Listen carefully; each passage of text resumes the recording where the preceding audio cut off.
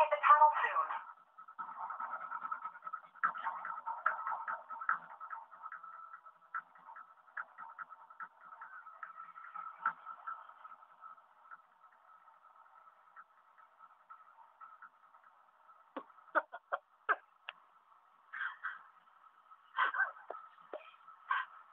Check your game, Ubisoft.